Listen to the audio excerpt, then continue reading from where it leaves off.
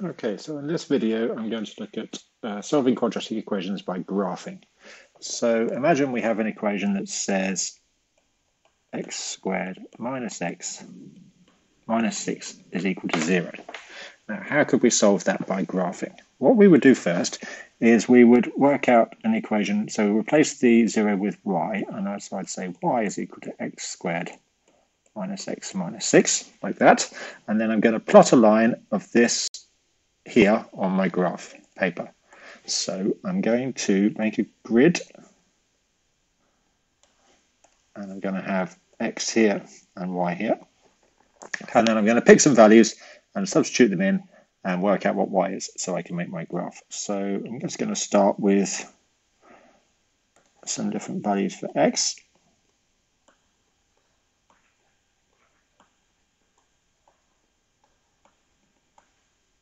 So let's try, I don't know, minus 4, minus 2, 0, 2, 4, and then I'll save that one in case we need anything else.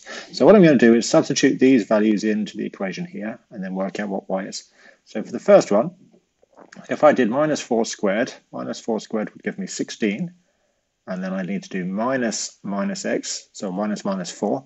So actually, let me just write this down. So for minus 4, it's going to be 16, and then minus minus 4, and then minus 6. So 16, so that would be plus 4 would be 20, and then minus 6 would give me 14. So if I rub that out, here would be 14. Then I can do negative 2. So negative 2 squared would be 4.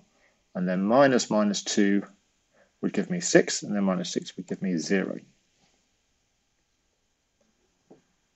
Is that right? Okay, so then I put in 0. Now that would give me minus 6 because the x squared would be 0 and the minus x would also be 0. Then when I put in the 2, I'd have 4. Take away 2 would give me 2, and then take away 6 would give me negative 4.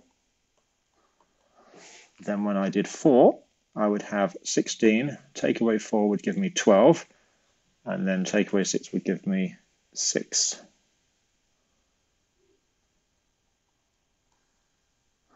And then if I continued and I did 6 again, I would have 36 and then take away 6 and then take away another 6 would give me 24. Okay. So if I now plot those, so I'm going to have to plot here. So I've got my axes here, which I've labeled up. So I've got some quite big numbers for y here. So I think I'm going to need to go up in let's say, so if I do 2, 4, 6, 8, 10, 12, yeah, that should work. So let's say that's going to be 4, then 8, then 12, 16, 20, 24. And then in my x's, I can go along in much bigger increments. So let's say that's be minus 2, that could be minus 4, that can be minus 6, that can be 2, that can be 4. That can be 6. Okay, so let me try and plot my grid now. So let's use yellow. So minus 4 and 14 is here. Then I've got minus 2 and 0, which is here. Then I've got 0 minus 6, which would be, I haven't done the negative values, minus 4 here, minus 8 here. So I wanted 0 and minus 6, which would be here. Then I'd want 2 and minus 4, which would be here. And then I'd want 4 and 6, which would be here. And then I'd want 6 and 24, which would be here. Okay, so what I want to do here is draw a curve in there. So I think I can draw like that and I can select it and I should be able to curve it down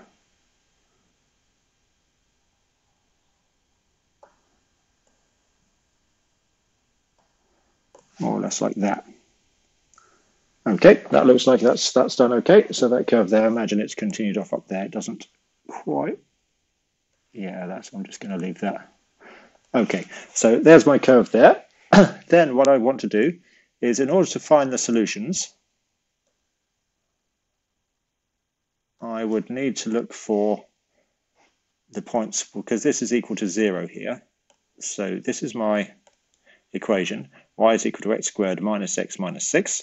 So that's my line. Let me label that. y is equal to x squared minus x minus 6, like that. And then the points where it intersects the x-axis are here and here.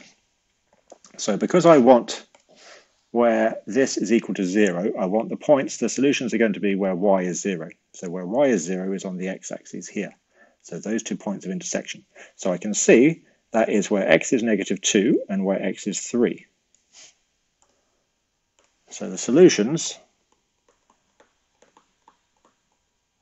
x is equal to negative 2 or x is equal to 3 because that's where it's crossing my axes here. This is 3, this is negative 2. All right, so I can check that. So if x is negative 2, I could substitute that into here. x was negative 2 gave me 0. And if I put in 3, I should also hopefully get 0. So if I did 3, I would have 3 squared would be 9. Take away 3 would give me 6, and take away 6 would indeed give me 0. Okay, so those are the correct solutions there. If I wanted to, I would also be able to use the equation. So say I wanted to solve x squared minus x minus 6 instead of equaling 0 was equal to say 7. So in this case I could use the same curve except instead of having it equal to 0 so instead of looking at where it intersected where y was 0 I could have it intersect where y would be 7. This will be an approximation.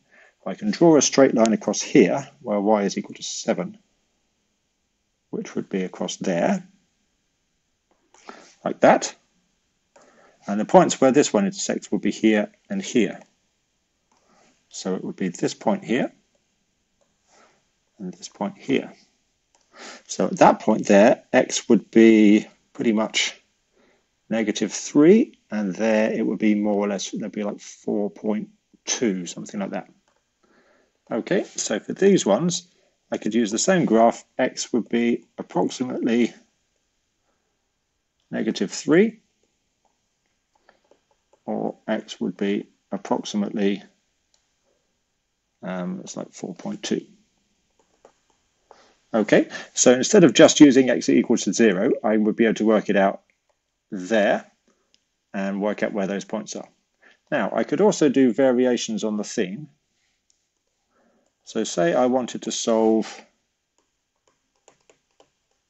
x squared minus x um, plus 4 is equal to 0. Okay, now I can use the same graph because I've still got this x squared minus x here. What I can do is I can rearrange it so it's into this form here. So if I subtracted 10 from both sides, I would say x squared minus x minus 6 would equal negative 10. So now it would match up with what I had for my graph here, the x squared minus x equals 6. So what I'd look for now would be where that was equal to negative 10. So I can see negative 10, that would be negative 12 down here. So negative 10, y is equal to negative 10 would be down here, across there. And I can see there that there's no intersection between the yellow curve and the green line. So that means that this equation here would have no solution.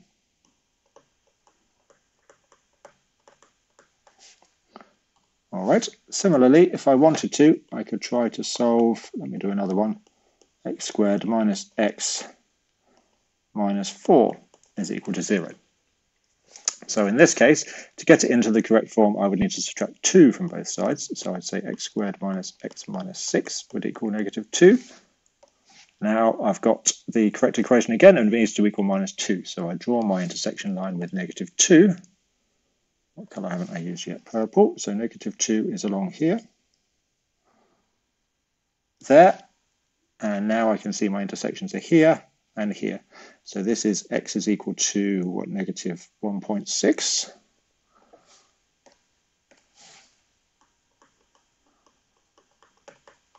Or that one there, which looks like 2.6, something like that.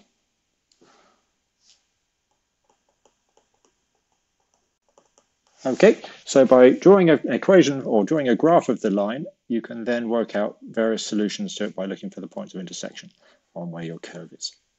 All right.